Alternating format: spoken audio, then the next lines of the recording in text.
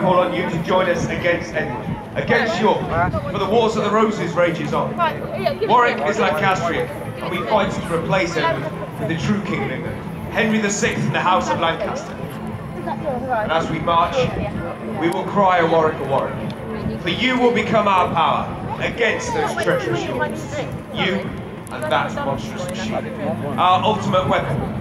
The biggest, most powerful siege engine in the world, the Warwick Castle Trebuchet!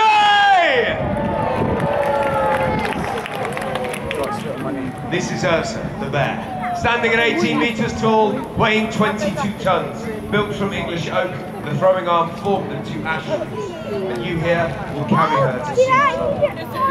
We plan to besiege the city walls directly, or we can create havoc within the capital. Either way, the trebuchet is key. Now traditionally, you loaded trebuchet using animals, horses or oxen, to tow down the throwing arm. There is a problem with this method. The siege could last weeks, maybe months, and our enemy could cut off our supplies. We will then have no food to feed our hungry soldiers. So we will resort to eating those horses and oxen and have no way of loading our trebuchets. So somebody somewhere thought of using the technology from the crane. Same cranes that have helped build structures across Europe. Churches, abbeys, cathedrals, city walls, castles like our own Warwick. So we have taken the wheels from the cranes, two wheels, and set them inside our trebuchet. You link them with a central axle, tie a rope to the end of the throwing arm, down to a pulley at the back, then connect that rope to the central axle. Now we can use manpower to load our trebuchets. But we have thousands of soldiers at our disposal. All we need is four those soldiers.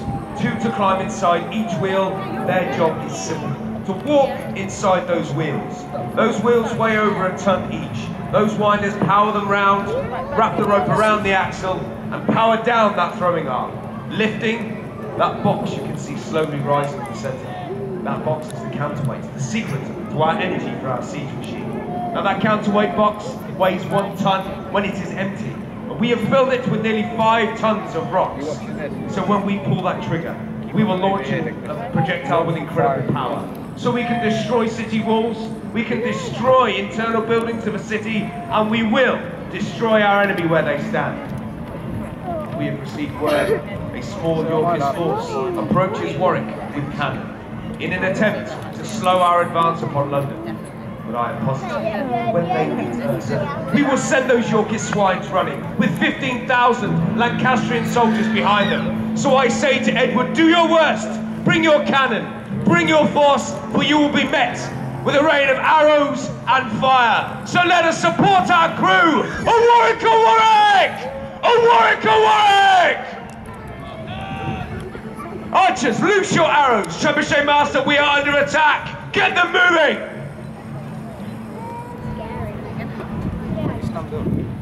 This winding job is the worst. Run faster, wind harder. That's all right for him to say. The pain in my legs is excruciating, and I've more winds of this wheel to come. The worst part is the sickness.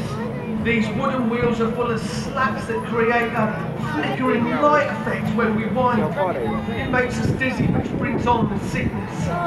If you know what's good for you, you swallow it down. Throwing up when the floor becomes the ceiling every five seconds isn't pretty. Not only that, but you fall over for sure. The wheels are extremely slippery when wet, and whether it's the sick or the rain, to fall over is the worst thing that can happen to a winder. I've been carried to the top of the wheel and fall on the axis, breaking me back for certain. I just keep running and looking ahead as much as I can. This job is often given to blind people. They don't suffer with the sickness then, you see. Giving up and falling out of the wheel isn't an option either. I promise you, it's not worth the lashings you get if you try. I suggest we keep winding. Just think about it. It eases the pain. Well, it works for me anyway. Come on, mate. Not long now until that rope's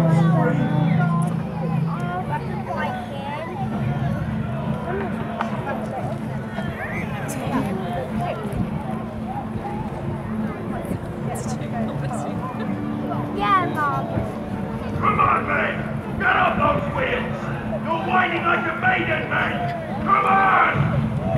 the enemy is close now, and I'll show them what we are made of. As Trebuchet Master, Ursa is my responsibility, and it's my job to keep her turning and keep these lazy dogs moving. I am a master of warfare, and this machine is my finest weapon. This machine can shoot a projectile 300 meters at 150 miles per hour. If I don't operate her with absolute precision, if this arm releases accidentally, it will decapitate me in an instant. But I don't have time to worry about that. I have to shoot this machine every six minutes, or the Kingmaker never will have my name. There is no room for error. Oh, oh, oh, This is war, and we have to win. I could go easy on our enemy and fire dead and rotting animals. Pigs horses are a good choice. These spread disease among their killing. But why would I do that when I could send some pale, and their Yorkie spies back?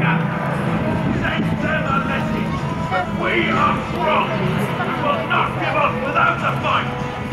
It's time to show these Yorkies what we are made of.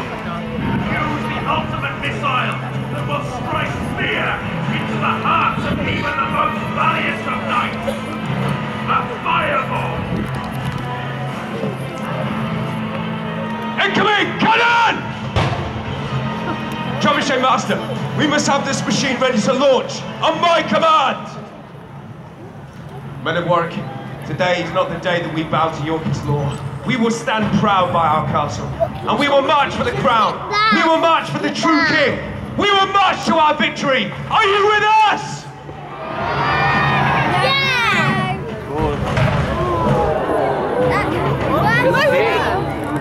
Trebuchet Master, their cannon are raging in. One more will hit the machine. It is time to launch. Begin the shooting sequence. Remove the chain.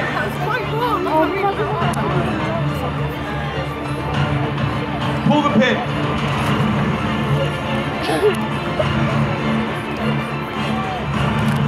Down, prepare for launch. Give the projectile fire.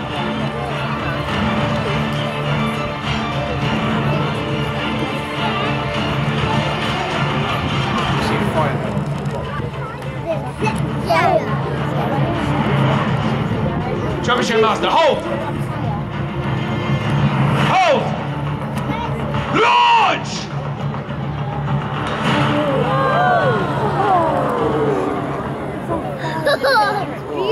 Beautiful. Ladies and gentlemen, the Warwick Castle Trebuchet!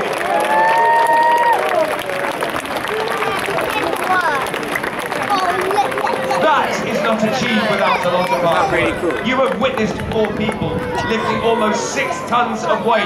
So please, let us hear a huge cheer for the Trebuchet Master Ash and the crew!